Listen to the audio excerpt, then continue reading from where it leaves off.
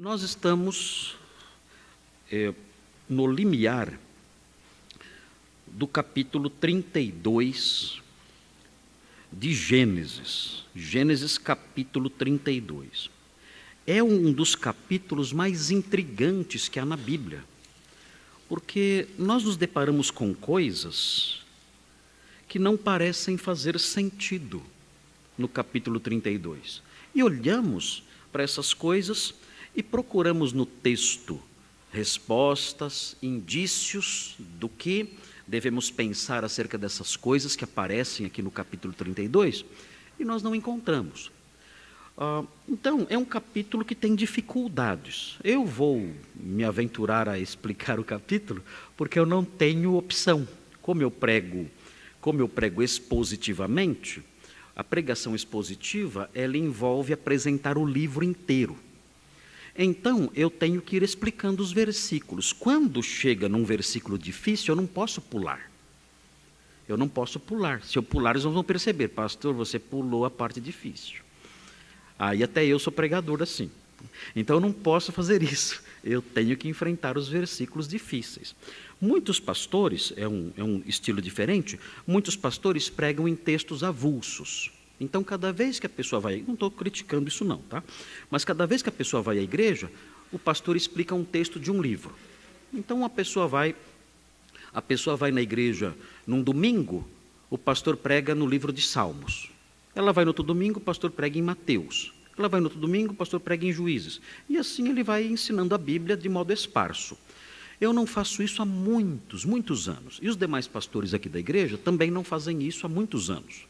Então, nós temos o costume de explicar o livro inteiro. O problema, para nós, né? Para nós, o problema é que quando chega textos difíceis, nós não podemos falar, é, acho que eu vou, pregar em outro texto. Esse aqui está um pouco complicado, eu vou, vou, vou pregar em outro texto. Nós não temos essa opção. Nós temos que enfrentar o texto, mesmo com dificuldades, e tentar explicar para os irmãos e pesquisar, e dá muito mais trabalho. Temos que pesquisar, temos que ler os comentários para tentar achar as respostas. Algumas respostas não são satisfatórias, outras não existem, e temos que caminhar assim mesmo, não tem jeito. E é o que acontece nesse capítulo. Se eu, se eu estivesse pregando textos aleatórios, eu não ia pregar nesse capítulo, não.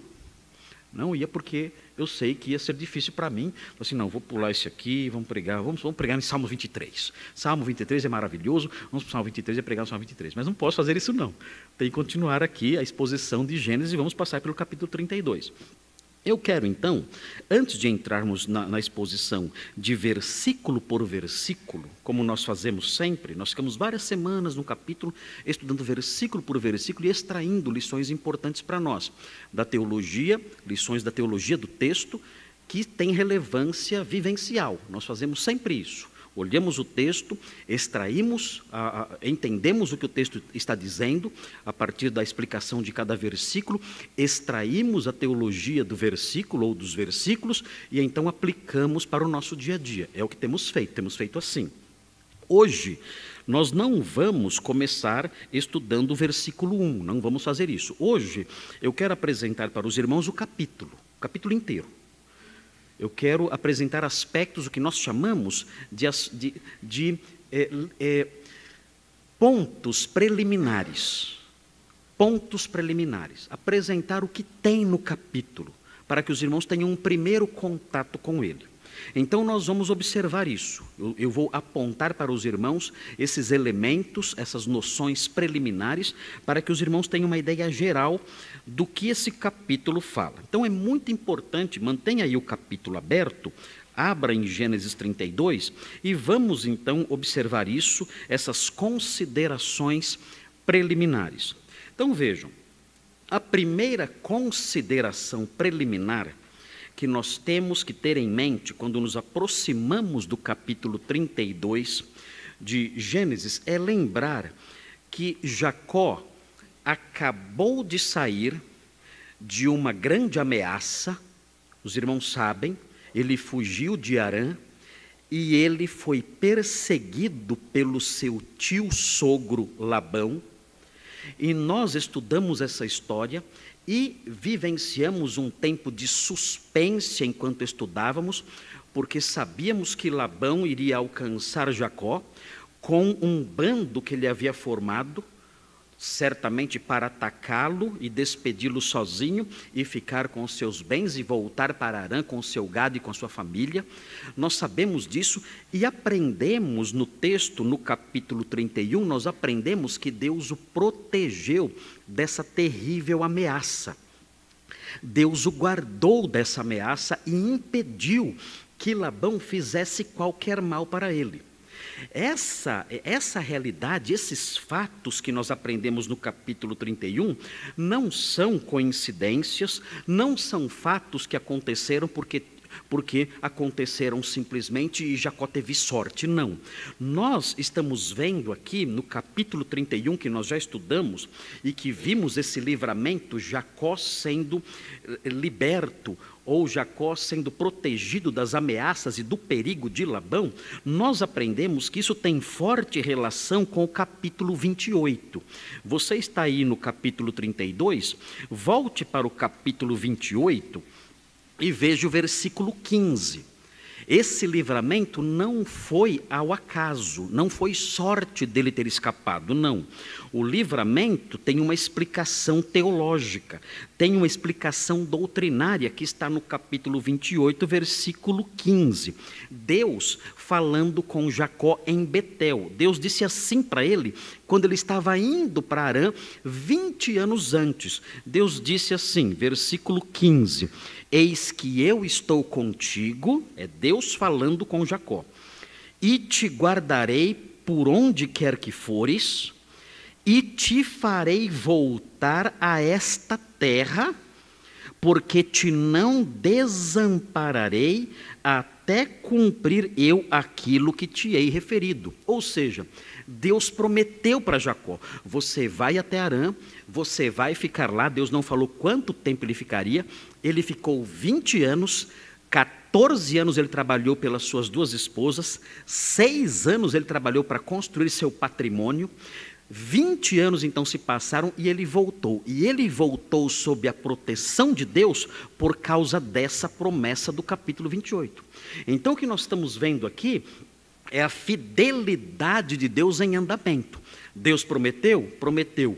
20 anos se passaram. Deus prometeu: você vai voltar, eu vou trazer você em segurança. O que vimos então no capítulo 31 é o cumprimento dessa promessa, mostrando algo ligado à teologia que é fundamental. O Deus que nós conhecemos na Bíblia, o Deus que, é, que se apresenta já nas primeiras páginas da Bíblia é um Deus fiel. Quando ele fala e promete, ele cumpre. E nós aprendemos isso agora, agora, dentro desse ambiente ainda de retorno, dentro desse contexto em que Jacó está voltando para sua casa, ele agora no capítulo 32, assim como aconteceu no capítulo 31, no capítulo 32 ele vai enfrentar uma outra ameaça. Só que agora não é o tio sogro. Agora a ameaça que ele vai enfrentar é o irmão. É o irmão dele. Quem será que é mais perigoso? O sogro ou o irmão com raiva? Hã? É difícil saber quem é mais perigoso, mas o medo de Jacó do irmão dele é gigantesco. Porque o medo que ele tem do irmão dele é gigantesco? Porque o irmão dele fez uma promessa. Que promessa o irmão dele fez?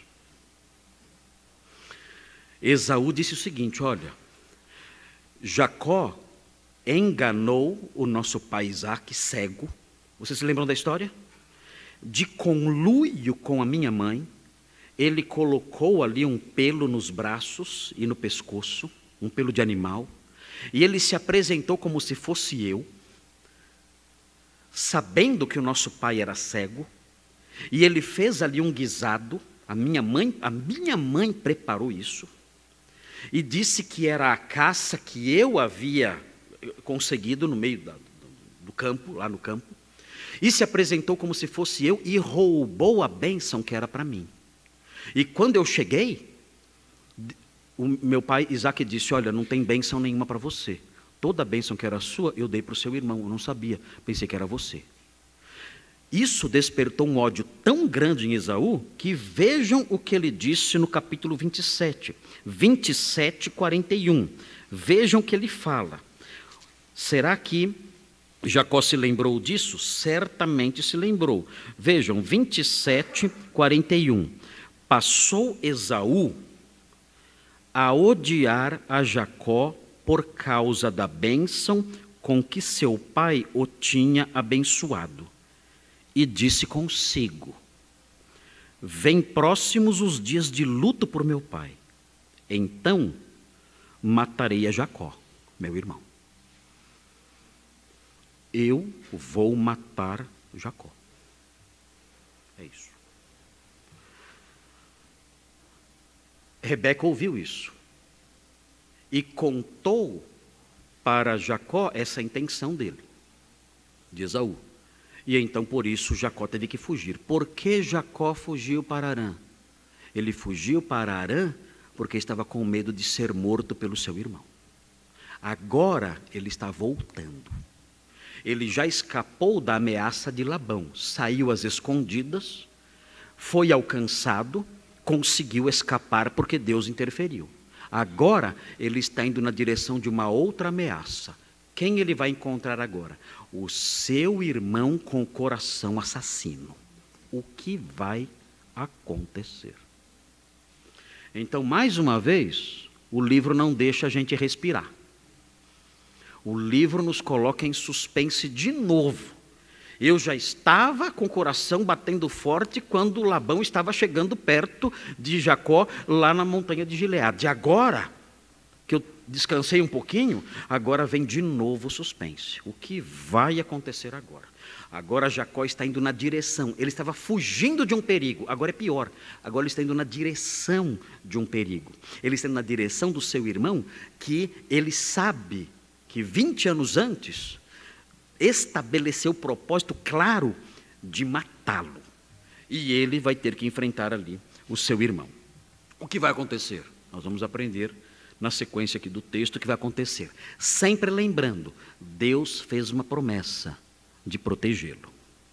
Muito bem, esse é um fator importante. Estamos então dentro de um ambiente de promessa, mas ao mesmo tempo um ambiente de risco, de perigo em que Jacó está indo na direção de um homem que, no passado, desejou matá-lo. É, o encontro deles dois, nós veremos depois, o encontro deles dois é muito emocionante, mas isso fica mais para frente. Vejam ainda no capítulo 32, outro fator importante. Aprendemos isso, é um capítulo que mostra Jacó indo na direção de, de, de, de Esaú, e outro fator importante aqui. Outra característica, outra consideração importante nesse capítulo. O capítulo, se os irmãos olharem com atenção, vão ver que esse capítulo é emoldurado.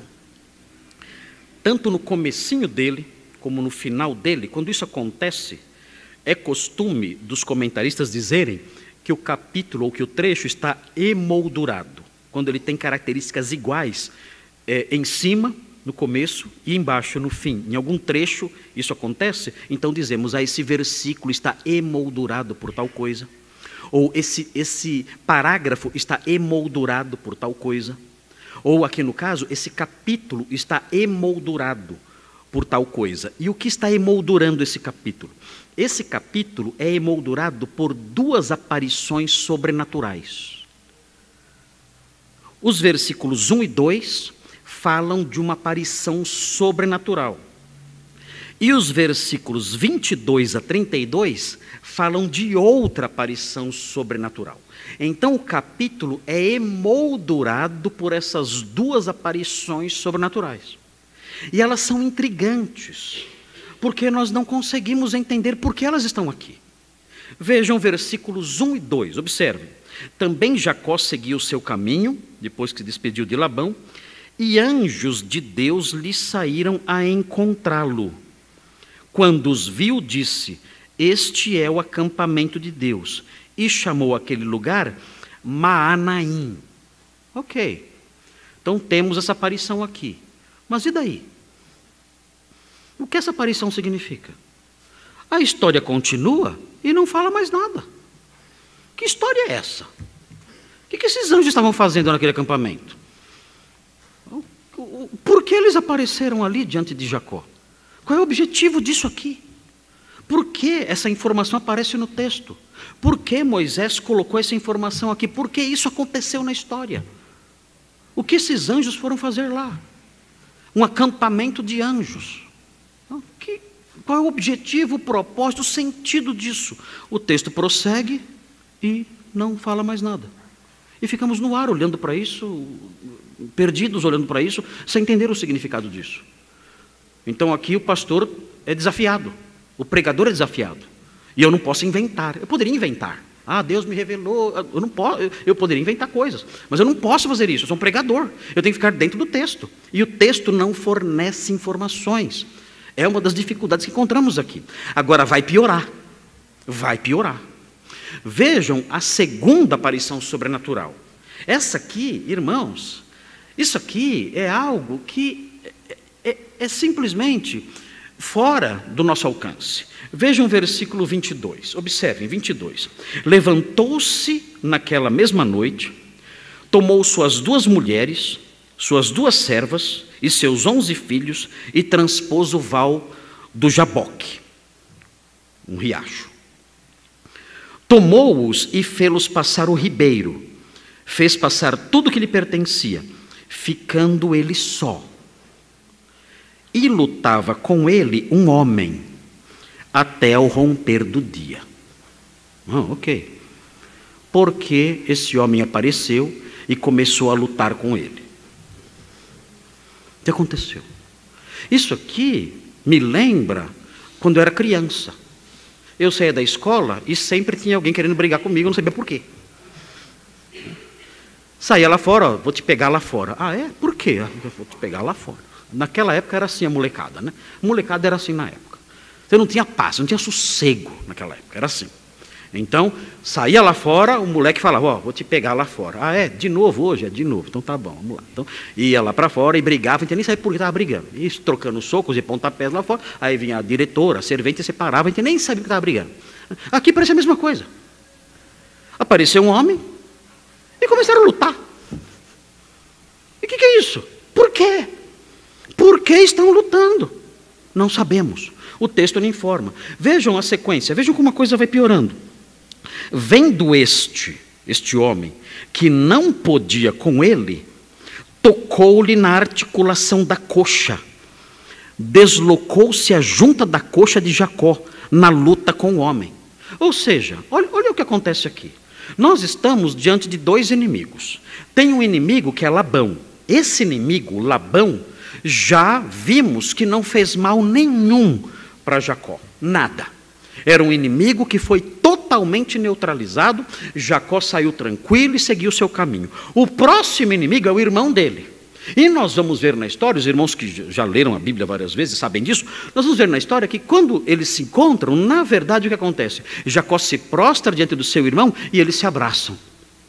Então os dois inimigos que nós temos medo não fazem absolutamente nada. Os dois inimigos que nós temos medo, que nos incomodam, que tiram o nosso sossego, esses dois inimigos despedem Jacó com toda tranquilidade, com toda a paz. Labão fez uma festa. Labão fez uma festa. E eh, eh, Esaú abraça seu irmão e os dois ali choram juntos, ali emocionados. Agora, esse inimigo aqui, não. Esse inimigo machuca Jacó. Jacó ficou manco. Ele feriu Jacó na articulação da coxa, diz o texto. Ou seja, é um inimigo inesperado, é um inimigo que não tem sentido nenhum aparecer, a nosso ver, e é um inimigo muito mais agressivo do que os outros dois. Por que ele está aqui? E quem é ele? Quem é esse homem que aparece do nada, começa a lutar com Jacó, ele percebe, ele percebe que Jacó é mais forte do que ele, e ele então dá um golpe, não sei se dentro das regras, né? mas apelou. Apelou. Né? Deu um golpe na, na articulação da coxa. Ah, não sei se isso era, isso era permitido na luta, estava dentro da regra da, das regras da luta, mas Jacó não pôde mais lutar. E Jacó não podia mais lutar agora. É porque ele fez isso. O que está acontecendo aqui? O texto fala que ele apareceu do nada, começou a lutar ali. Ah, e, e, e, esse homem, que é um ente, sabemos, sobrenatural, não tem força suficiente para derrotar Jacó, que é um homem mortal como todos nós. E vejam, vejam como a coisa vai, vai se tornando cada vez pior. Nós, nós seguimos em frente, o texto diz assim, versículo 26: Disse este, é o homem falando, deixa-me ir, pois já rompeu o dia. Meu Deus, eles estão lutando a noite toda. O que, que é isso? A noite, a noite inteira lutando. Eu, na escola, não cheguei a esse ponto. Jacó era um homem muito forte. E, o, e aquele que apareceu para lutar com ele não, não teve condições de vencê-lo. E vejam, respondeu Jacó: Não te deixarei ir se não me abençoares. Opa, quem é esse homem? Quem pode abençoar alguém? Quem pode abençoar alguém? Eu começo a ter contato com uma figura que eu percebo que não é, não é uma figura comum. Essa figura luta a noite inteira com Jacó, e Jacó fala: Eu não vou te soltar. Eu Jacó deve ter pensado assim: Olha, eu trabalho no campo, eu varo a noite ralando que nem um cavalo, eu não durmo, eu enfrento geada, eu enfrento sol durante o dia, eu luto com feras, eu sou um homem forte do campo, há anos eu faço isso, eu sou muito forte. E eu te garanto, eu aguento o tranco por mais um dia inteiro aqui lutando com você. Eu não vou parar de lutar. Já varei a noite e vou continuar lutando, porque você vai me abençoar. Que sentido tem isso aqui? Alguém sabe me explicar? Alguém sabe me explicar isso? Como esse, esse ente estranho, sem nome, que aparece do nada, pode abençoar alguém? Quem é ele? Então nós seguimos em frente. Perguntou-lhe, pois, 27, como te chamas? Ele respondeu, Jacó. Ok. Então disse: Já não te chamarás Jacó, e sim Israel, pois como príncipe lutaste com Deus. Aí é brincadeira. Não, aí é brincadeira. Você lutou com Deus, eu sou Deus. Eu sou Deus. E você lutou comigo. Eu vou mudar o seu nome, pois como príncipe lutaste com Deus e com os homens, e prevaleceste. Eu sou Deus. Eu lutando com você, sou Deus. Muito prazer. O que é isso? Como assim? Deus lutou com Jacó e não conseguia vencê-lo? Mas esse Deus de Gênesis é o Deus que criou o céu e a terra. O Deus de Gênesis fez as estrelas. O Deus de Gênesis controla os furacões, os maremotos, é o Deus do dilúvio. É o Deus que destruiu a terra. E esse Deus lutou a noite inteira com o homem e não conseguiu vencê-lo? O que é isso? Qual é o sentido disso? Nós não temos explicação para isso. O texto prossegue: Tornou Jacó, dize, rogo-te, como te chamas? Respondeu ele: Por que perguntas pelo meu nome?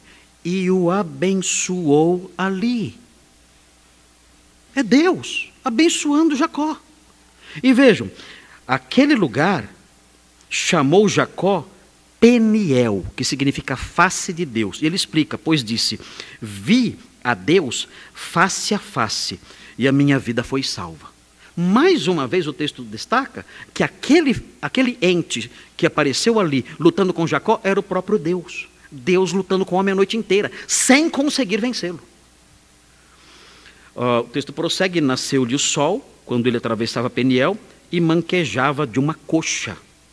Por isso, os filhos de Israel não comem até hoje o nervo do quadril na articulação da coxa, porque o homem tocou a articulação da coxa de Jacó no nervo do quadril. Isso foi um costume, então, que foi estabelecido em Israel durante algum tempo, que não comiam o nervo do quadril, um, por causa desse episódio. Uh, como entender isso? Como entender isso aqui? E a história prossegue e não explica nada. Nós aprendemos no texto de Gênesis acerca de um Deus poderoso que pode ordenar a Labão não toque nele, não toque em Jacó. Uh, se você, um, um, Deus que se aproxima de Abimeleque e fala: não toque em Isaac, não toque em Sara. Se você fizer isso, você vai sofrer consequências drásticas no seu corpo. Ele faz isso, ele é todo poderoso, ele é o Deus, como eu disse, de Noé, ele é o Deus que destrói o mundo, e esse Deus passa a noite inteira lutando com o homem e não consegue vencê-lo. Como isso pode fazer sentido? E o texto termina e não explica nada. E nós então ficamos à mercê das nossas percepções. Como entender isso? Será que Deus tinha poder para vencer Jacó? Parece óbvia a resposta, mas o texto diz que ele não conseguia. Por que essas coisas estão acontecendo? Qual é o sentido dessas duas aparições enigmáticas aqui nesse, nesse, nesse capítulo? É, é, é, difícil encontrar no próprio texto a resposta, porque o texto não vai mais falar sobre isso. Quando nós temos um, um, uma, explicação neotestamentária, fica fácil. Nós chegamos no Novo Testamento, pesquisamos o texto do Novo Testamento e ali existe uma explicação apostólica, então nós temos indícios claros para lidar com essa situação. Mas aqui não. Aqui nós somos deixados à mercê das nossas percepções. Isso é perigoso para nós. O pastor pode trazer aquilo que ele acha. Isso é perigoso. Então, quando chegar essa hora, eu vou trazer para os irmãos algumas explicações possíveis, mas eu não poderei ser taxativo, dizendo, ó, oh, é isso e acabou. Não poderei fazer isso porque nós temos que respeitar a obscuridade do texto. Deus quis, Deus quis que esse pedacinho da sua palavra fosse obscuro. Deus quis que fosse assim. E se Deus quer que a palavra dele nesse ponto seja assim, nós temos que mantê-la assim. Eu não posso jogar luz onde Deus quer escuridão. Se Deus quer escuridão aqui, o texto vai ficar escuro, irmãos. Eu, eu não posso, eu não posso trazer luz onde não tem luz, onde Deus não dá luz. Então, nós vamos ver algumas possibilidades, explicando: olha, irmãos, é possível que essas aparições signifiquem isto, isto, isto, à luz de outras partes do texto, à luz do contexto geral. Pode ser que esses episódios fortaleçam tal ideia. Pode ser, mas é só até aí que eu vou. Eu não posso ir além disso. Se eu for além disso, eu vou ultrapassar o que o próprio texto diz, o que o Espírito Santo deixou aqui para nós. Nós temos, que, nós temos que nos acostumar com o fato de que há porções das Escrituras que são enigmáticas. E Deus quis que fossem assim. Então, humildemente, isso é, isso é humildade intelectual. Eu olhar para o texto, eu olho para o texto e digo: olha, eu não tenho elementos aqui no texto para formular uma resposta satisfatória. Não tenho. Deus não nos deu isso. Então nós temos que seguir em frente com algumas suspeitas, com algumas possibilidades e humildemente prosseguir, sabendo que Deus não quis esclarecer. Ah, é, é, há verdades teológicas aqui, a acessibilidade de Deus, a humilhação de Deus em, em lutar com o homem, aprendemos atributos de Deus nisso aqui, mas não podemos ir muito além disso. E vamos tirar disso as lições necessárias para a nossa vida. Muito bem. Outro fator importante, outro elemento importante no capítulo 32 capítulo 32 também insere, pela primeira vez na história, o nome Israel. Isso é muito importante. Aparece agora aqui Israel. E essa palavra aparece depois da menção dos patriarcas. Vejam o versículo 22, fala assim: Levantou-se naquela mesma noite, tomou duas mulheres, suas duas servas e seus onze filhos. Aqueles são mencionados, os onze patriarcas. Isso é muito importante, Por quê? Porque nós estamos estudando, na realidade, a formação de uma nação. E as bases dessa nação são os onze patriarcas. Eles vão dar origem às doze tribos de Israel. Vai nascer mais um, Benjamim, vai nascer. E então teremos os doze patriarcas e teremos as doze tribos de Israel. E o nome, então, Israel, aparece finalmente no versículo 28, dizendo, o homem dizendo a Jacó. Então disse: Já não te chamarás Jacó, e sim Israel. Aqui aparece o nome Israel lembrando, lembrando já da formação da nação, o nome da nação já, já aparecendo aqui. E o, e o texto explica: pois como príncipe lutaste com Deus e com homens e prevaleceste. O que é interessante aqui, o que é impingido aqui na mente do leitor é que essa nação, Israel, está ligado à ideia de algo indestrutível. Olha, o seu nome é Israel, por quê? Porque você lutou com homens e até com Deus. E nos seus embates com os homens e nos seus embates com Deus, você não foi destruído. Essa nação é impossível de ser destruída. É impossível. Com Deus, ele entrou em conflito e não foi destruído. Com Deus, ele lutou e não foi destruído. Com homens, então, nem se fala, e não foi destruído. O que nós temos aqui, nesse versículo 28, é a mensagem implícita aqui do seguinte: o povo de Israel é indestrutível. Já tentaram destruir Israel? Sim ou não? Meu Deus. É, isso não para. É o tempo todo nações se levantando, governos se levantando, tiranos se levantando, filosofia se levantando, ideologia se levantando para destruir Israel. Qual é o sonho de todo país muçulmano? É varrer Israel para o mar. Essa é a frase. É a frase que, que, que compõe o sonho dessas nações. Nós queremos varrer Israel para o mar. Os mapas das nações muçulmanas não têm Israel. Não tem. Eles odeiam Israel. E se pudessem, destruiriam imediatamente aquela nação. Mas nós aprendemos nesse pequeno embriãozinho da história de Israel que essa nação é indestrutível. Nos seus embates com Deus e nos seus embates com os homens, nada pode destruir Israel. O lugar mais seguro do mundo para você viver é Israel. Que ninguém destrói aquele país. É impossível. Aquele país nunca será destruído. Vocês conhecem algum filisteu? Conhecem algum filisteu? Não? Pois é. Os filisteus não existem mais. Conhece algum edomita? esses povos todos desapareceram. Mas israelitas estão aí. Talvez até aqui no auditório tenha algum israelita, não sei. Algum judeu, não sei. Mas é impossível destruir essa nação. Por quê? Porque Deus tem um plano para essa nação. Essa nação é o veículo que Deus escolheu para abençoar e salvar. É por meio dessa nação indestrutível que ele vai trazer o Messias ao mundo, conforme vamos aprender. Ele vai trazer o Messias ao mundo dentro dessa nação. E o Messias então será o salvador da humanidade, vindo ao mundo por meio de uma das doze tribos de Israel, conforme aprenderemos ao longo da história da redenção. Outro fator importante aqui, e esse aspecto, eu acredito ser o aspecto, eu quero é, apontar isso por último, é o último aspecto que eu quero apontar, é que é, esse aspecto final é o aspecto que mais tem contornos pastorais. O capítulo 32 é um capítulo que mostra um Jacó novo. Ele não é mais o mesmo Jacó. O Jacó que aparece no capítulo 32 é muito diferente do Jacó que aparece lá no começo, quando ele estava ali com os seus embates com seu irmão. Ele é um homem diferente agora. Uh, nós aprendemos, nós vimos, que desde o momento em que ele conheceu a Deus, no capítulo 28, as coisas começaram a mudar no seu coração.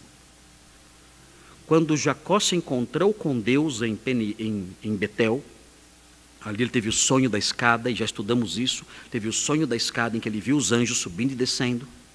A partir daquele dia e nos 20 anos seguintes, coisas foram acontecendo nele. Ele conheceu o Deus verdadeiro. E tendo conhecido o Deus verdadeiro, nós percebemos nele um discurso diferente, uma visão diferente da vida, uma visão diferente das coisas. Ele não é mais o mesmo Jacó. Até o nome dele vai mudar. O que significa Jacó? Enganador. Jacó tinha sido um homem enganador, um homem fraudulento. Ele, ele realizava fraudes. Era por isso que seu irmão odiava tanto, porque ele tinha sido fraudado. Esaú tinha sido fraudado por Jacó. Agora, aqui, no capítulo 32, nós vemos um homem diferente. Vejam, vejam alguns indícios disso. Vejam que homem diferente temos aqui. Vejam versículo 10. Vejam a mente desse homem agora. É, é, ele orando. Nós veremos uma oração de Jacó no tempo devido. Nós vamos estudar essa oração de Jacó. Vejam a oração dele como é. Vejam que coisa linda isso. Ele fala: Sou indigno de todas as misericórdias e de toda a fidelidade que tens usado para com teu servo pois com apenas o meu cajado atravessei este Jordão. Já agora sou dois bandos. Ele diz: Olha, Senhor, tudo que eu conquistei, tudo, veio das Suas mãos. Eu sou indigno das Suas misericórdias. É um discurso diferente, esse homem aqui falando, é outra pessoa. Ele não é mais o enganador. Não é o homem que engendra fraudes, que cria fraudes, não é alguém que olha para o Senhor e fala: Senhor, eu não sou digno da sua misericórdia, mas o Senhor, na sua graça e na sua fidelidade, fez com que eu, que tinha só um cajado, eu tinha um cajado, quando eu, quando eu cruzei esse Jordão indo para Arã, fugindo do meu irmão. Agora, eu volto de lá com dois bandos, com família, com servos, com riquezas, com animais. Tudo porque o Senhor foi misericordioso, cuidou de mim e me abençoou. É um homem transformado. Jacó não é mais o mesmo. Vejam o versículo 11. Vejam, ele diz assim: Livra-me das mãos de meu irmão Esaú. Ele diz. Ele sabe, ele, ele, ele se coloca na dependência de Deus. Livra-me das mãos de meu irmão Esaú, porque eu o temo, para que não venha ele matar-me e as mães com os filhos. Senhor, se o Senhor não me socorrer, eu não tenho a menor chance de escapar. Eu dependo do Senhor. Senhor, eu estou com medo. Eu não sou mais o espertalhão. Eu não sou mais aquele homem que, que cria saídas e engana as pessoas. Não, agora eu estou aqui cheio de medo. O Senhor tem que me livrar. O Senhor já me livrou das mãos de Labão. Livra-me agora, porque eu tenho medo. Meu coração está cheio de medo e eu confio que só o Senhor pode me ajudar. Eu não vou escapar da mão do meu irmão. Ele é um homem violento. Esaú era um homem de caça, ele era um homem do campo, era um homem rude. Ele é um homem bom no uso das armas, e ele está vindo ao meu encontro com 400 homens. Vai ser um massacre. Se o Senhor não me socorrer, eu não tenho esperança. Tem misericórdia de mim, livra-me da mão desse homem. Vejam, Esaú não é mais o enganador, não é mais o, o golpista. Não, ele é alguém que se coloca diante de Deus e diz: socorro, estou perdido. O texto prossegue. Vejam, versículo 12, a oração dele. E disseste, ele fala. É Jacó dizendo na sua oração: E disseste: Certamente eu te farei bem, e dar-te-ei a descendência como areia do mar, que pela multidão não se pode contar. Aqui ele cita a promessa que Deus fez para ele em Betel. Ele fala: Senhor, eu creio na Sua promessa.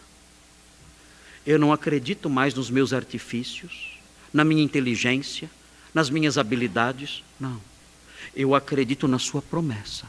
O Senhor fez uma promessa para mim de me proteger e eu creio nessa promessa. E algo mais acontece. Nós vemos essa oração, a história caminha. Nós chegamos então no ponto em que ele começa a lutar com aquele homem misterioso que eu mencionei há pouco. E é interessante o que ele diz no versículo 26. Veja o que ele diz. 26. Disse este: Deixa-me ir, pois já rompeu o dia. Respondeu-lhe Jacó: Não te deixarei ir, se me não abençoares. O que parece que está acontecendo aqui? O que parece estar acontecendo aqui é o seguinte: olha, eu obtive uma bênção na base da malandragem. Eu obtive uma bênção na base do engano.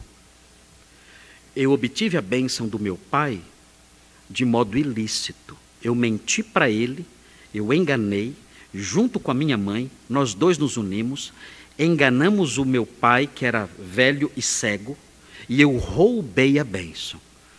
Mas isso não vai continuar. Agora eu quero a bênção mesmo.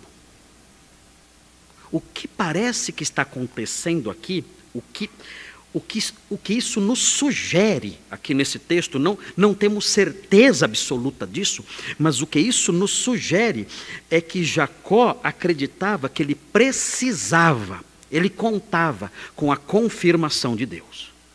Sim, eu tenho a bênção de meu pai mas eu roubei essa bênção. Eu preciso que Deus confirme isso. Eu preciso que Deus confirme que realmente eu sou o herdeiro dessa bênção. Ele já falou algo lá em Betel, mas eu quero mais uma confirmação. Eu quero ter certeza de que os artifícios ilícitos que eu usei no passado não anulam a bênção que eu obtive do meu pai. E ele requer, então, mais uma vez, que Deus o abençoe. Então, tudo isso mostra uma mudança. O seu próprio nome. O que significa Jacó? Aprendemos. Significa suplantador. Quando nós olhamos o capítulo 27, nós vemos Esaú falando sobre ele. Veja o capítulo 27. Esaú falando sobre ele. Versículo 36. 27 36. Fala assim, 27 36. Fala assim: Disse Esaú: Não é com razão que se chama ele Jacó? Por quê? Que significa Jacó? Enganador, suplantador. E ele prossegue: Pois já duas vezes me enganou. O nome dele é Jacó e ele merece o nome. Ele já me enganou duas vezes. Esse meu irmão é um safado. Ele é um pilantra. Ele vive engendrando, criando, maquinando golpes e eu já caí duas vezes. Ele merece o nome dele. Ele merece ser chamado de Jacó. É enganador. Quando nós chegamos então no capítulo 32, o nome dele é mudado. Agora você não vai se chamar mais Jacó. Você é um outro homem agora. Agora o seu nome vai ser Israel. Não é mais enganador. Você agora é o homem que lutou com Deus e prevaleceu. Você é homem que lutou com Deus e com os homens e prevaleceu. Você não é mais o estelionatário. Você não é mais o enganador. Você não é mais o malandro. Você não é mais isso. Você mudou. Você é outra pessoa. E por causa disso, eu vou te dar um outro nome. Seu nome agora é Israel. E mudou a vida daquele homem.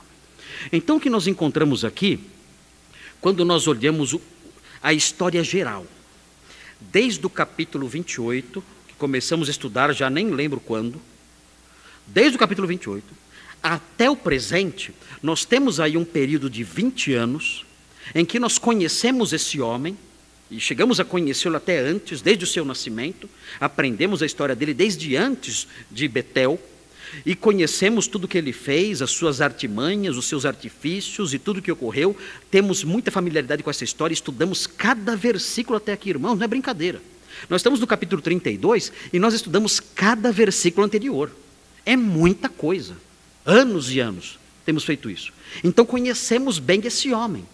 E nós aprendemos então, quando chegamos no capítulo 32, conhecendo a história dele desde o seu nascimento, a sua experiência em Betel, e agora o que acontece aqui, nós percebemos uma mudança dramática nessa figura de alguém enganador, de alguém mentiroso, de alguém que, que se envolve em maquinações, em, em é, planos para prejudicar alguém num homem que se aproxima de Deus e fala: Senhor, se não for a sua misericórdia, eu estou perdido. Eu confio na sua promessa. Vem me ajudar. Socorro. O Senhor é gracioso e misericordioso. Eu não mereço nada, mas o Senhor é o meu Deus. E eu confio no Senhor apenas. E então Deus se aproxima dele e fala: Eu vou mudar seu nome. Você não é mais o enganador. Você é Israel agora. Você é alguém que luta com Deus e com os homens e prevalece. Vemos nesse período todo, então, uma transformação desse homem. Especialmente a partir do seu encontro com Deus em Betel. Isso é importante por quê? Porque existe embutido nisso Existe presente nisso, o leitor atento percebe essa alteração do personagem, o personagem muda, o personagem é outra pessoa. E quando nós percebemos isso, existe aqui, nessa mudança lenta, nessa mudança que vai se desdobrando ao longo dos capítulos lentamente, e vai, e vai se desenhando um personagem diferente diante dos nossos olhos, nós percebemos nisso uma lição importante. E que lição é essa? A lição é simples: o homem que realmente conhece a Deus, ele vai sendo transformado aos poucos. Nós aprendemos isso na história. A história não grita isso. A história não tem um versículo dizendo, vejam, Jacó mudou. Não, não existe isso. O que existe são essas informações que vão cochichando verdades aos nossos ouvidos. E, e, e, o fato dessas verdades serem sussurradas não tornam essas verdades menos importantes e reais. Elas são verdades que o texto sussurra. Não são invenções da nossa cabeça.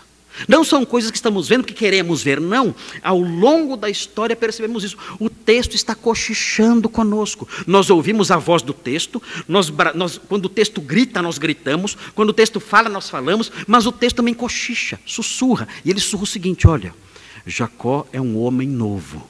Ele conheceu a Deus e ao longo dos anos a sua vida foi sendo transformada. De um espertalhão, ele se tornou um homem dependente de Deus, confiando nas suas promessas. Ele é uma outra pessoa, ele não vai enganar mais ninguém agora. Ele é um homem novo. E aprendemos com esses sussurros, ao longo desses capítulos todos, aprendemos essa lição importante. O homem que realmente se encontrou com Deus, ao longo do tempo, ele vai sendo transformado mais e mais. Por que isso é importante? Porque, irmãos, nós que somos crentes, nós costumamos dizer: um dia eu conheci a Deus. Oh. Nós louvamos ao Senhor por essa frase de todo o nosso coração.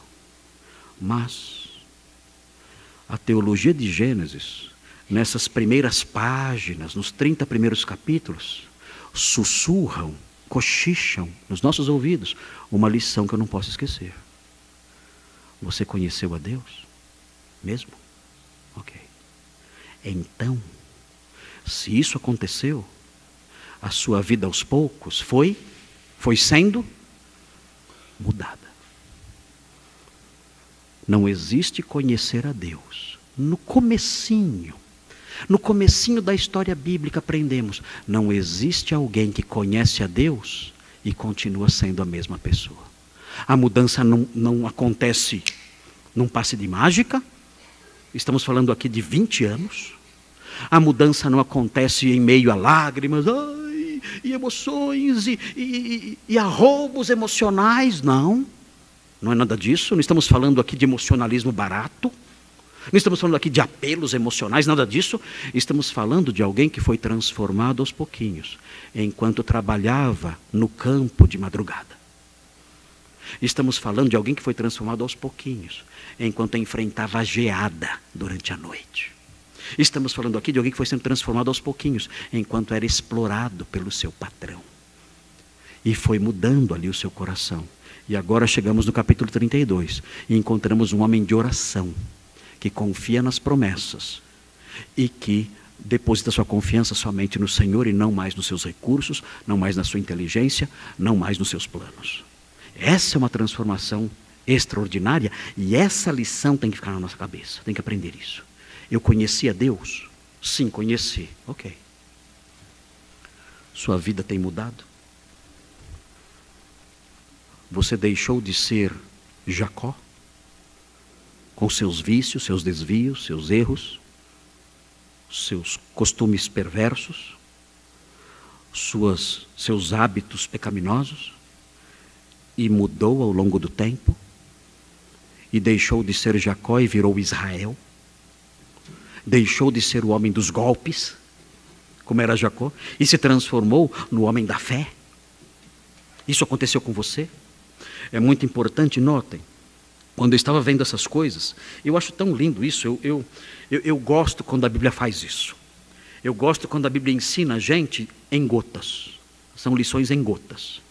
Você vai, você não toma um, uma jarra de ensino, não é, não é uma jarra desse tamanho de ensino, não é. Ela vai, ela vai pingando gotinhas de ensino na gente. Então nós chegamos no capítulo 32 e aprendemos isso. Aprendemos uma lição importante. O homem que se encontrou com Deus, ele é transformado aos pouquinhos. O, o, texto, como eu tenho falado, o texto sussurra, o texto cochicha, mas o seu sussurro é verdadeiro. E quando eu vi isso, estudando essas coisas, eu me lembrei de um texto muito lindo que eu quero apontar para vocês, que está em Colossenses, ah, mostrando como o apóstolo Paulo faz coro com essa verdade. Eu não quero cansá-los, indo e vindo para lá e para cá com textos, mas eu tenho que falar rapidinho sobre o que diz aqui o texto. Colossenses 2. Vejam coisa, coisa linda, Colossenses 3, desculpem. Eu falei 2, é Colossenses 3. Vejam que lindo acontece aqui. Colossenses 3, fala assim, Colossenses 3, versículo 5, fala assim. É uma ordem para os crentes aqui. Todos os crentes têm que obedecer isso aqui. Vejam o que diz.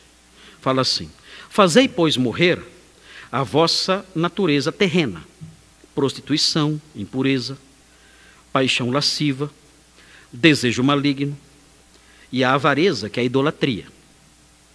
Por estas coisas é que vem a ira de Deus sobre os filhos da desobediência. Ora, nessas mesmas coisas andastes vós também noutro tempo, quando vivieis nelas. Aqui o texto está dizendo que a conversão mudou essas pessoas. Agora notem como essa mudança se opera aos pouquinhos. Vejam, agora porém, agora porém, despojai, despojai-vos igualmente de tudo isto: ira, indignação, maldade, maledicência, linguagem obscena do vosso falar, como tem crente que cai nisso, meu Deus. Linguagem obscena do vosso falar. Não mintais uns aos outros, uma vez que vos despistes do velho homem com seus feitos.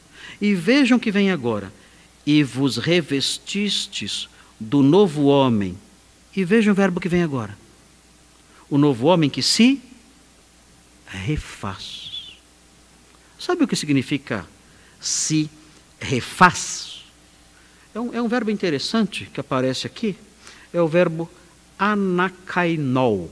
Anakainol. Eu gosto dessas, dessas, dessas coisas aí na língua grega. Anakainol. É bonito esse verbo. Verbo anakainol. Anakainol vem, é, é, é, uma, é um verbo integrado pela palavrinha, inclusive pelo substantivo é, kaine, que é novo. Então, anakainol significa renovar. Então, leiam o versículo pensando nesse significado. O texto fala assim: é, E vos revestistes do novo homem que se renova. Olha que coisa linda isso vos revestistes do novo homem e vejam a marca do novo homem. O novo homem, ele se renova. Mas isso, isso é maravilhoso demais, porque geralmente as pessoas, elas não se renovam, elas envelhecem. Não é assim? Mas aqui o texto fala que o novo homem, o, o homem que foi transformado por Cristo, o homem que conheceu a Deus, esse homem se renova. Ele não envelhece. Ele vai remoçando. Ele vai ficando mais novo. Ele se renova. E o texto prossegue. Ele se renova Aqui o texto diz: para o pleno conhecimento, segundo a imagem daquele que o criou. O sentido dessas palavras é o seguinte: eu vou ler aqui na versão granconatiana, aqui, eu vou ler para vocês para ficar mais claro. O texto fala assim: esse homem se renova na direção de um conhecimento completo. É a, é a expressão para o pleno conhecimento. Esse homem se renova enquanto caminha na direção de um conhecimento completo, tornando-se a imagem daquele que o criou. Vejam que coisa linda isso. Eu traduzi de outro jeito para vocês. O texto está dizendo: olha, o novo homem, o homem que nasceu de novo pela fé em Jesus, é um homem que se renova.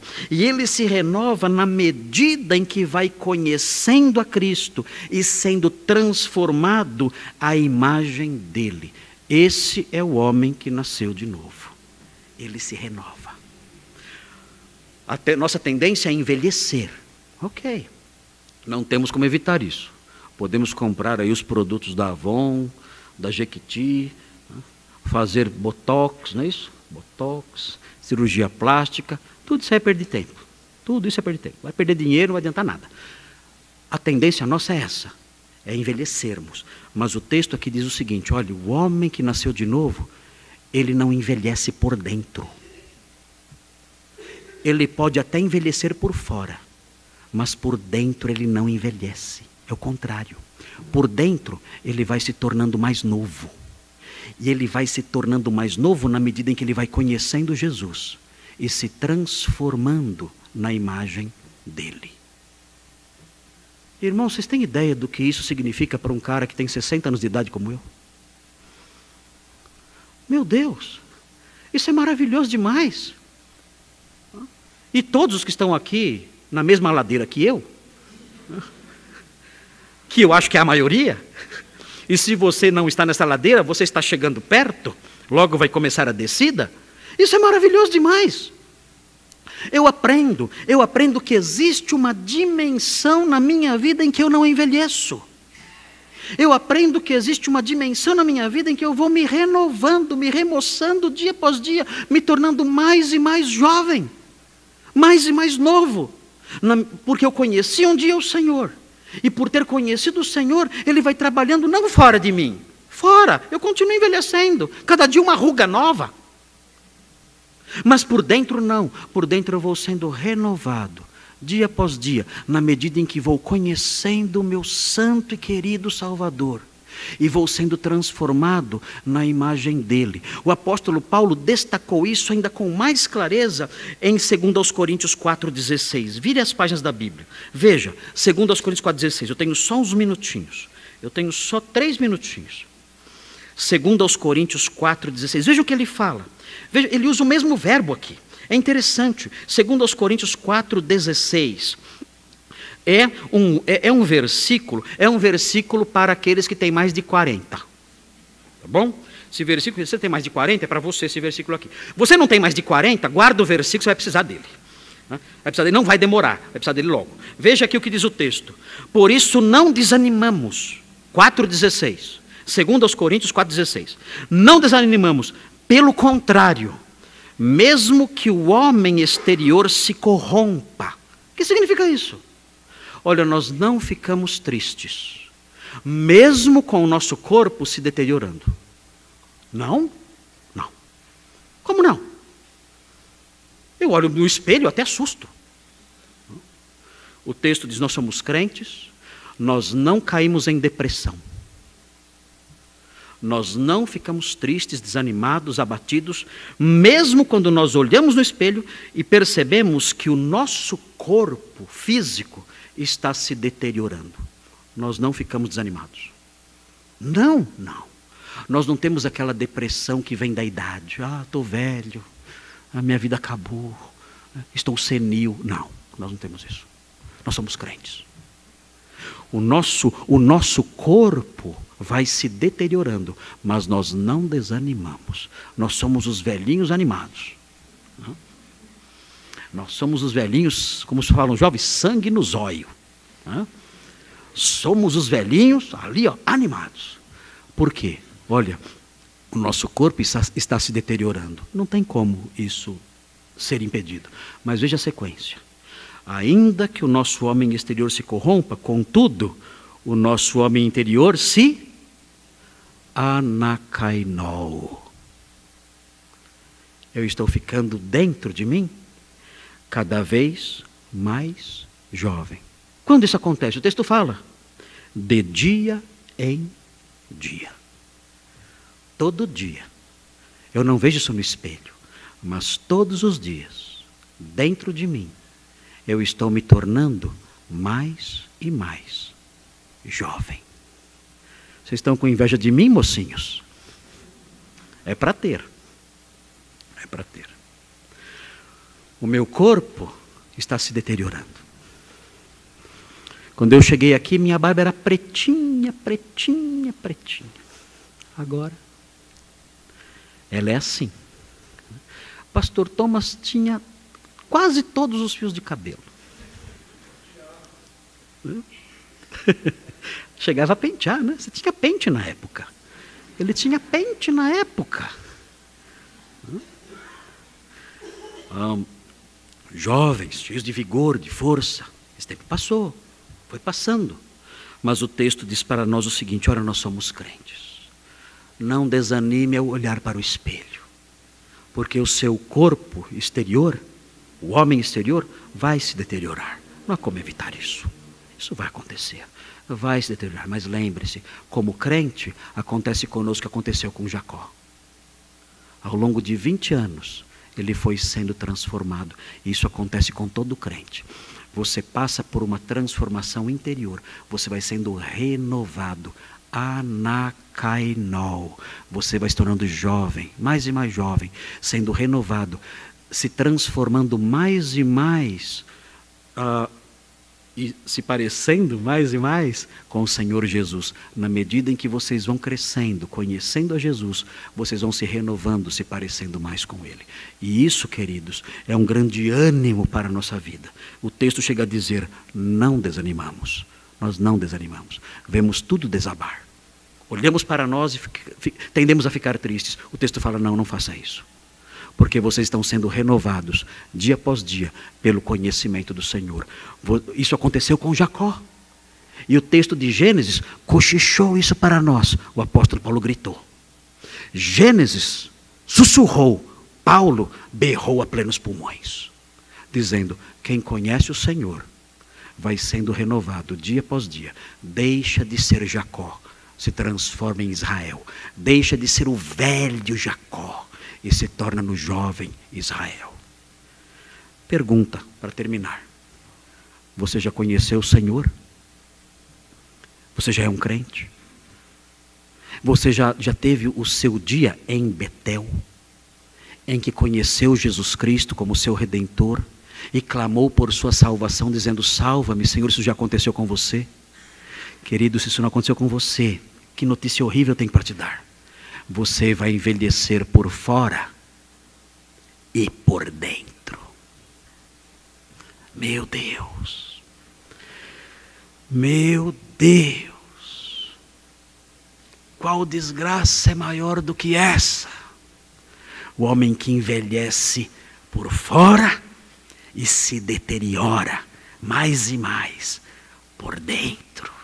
Meu Deus. Esse é o perfil, é a descrição clara da infelicidade.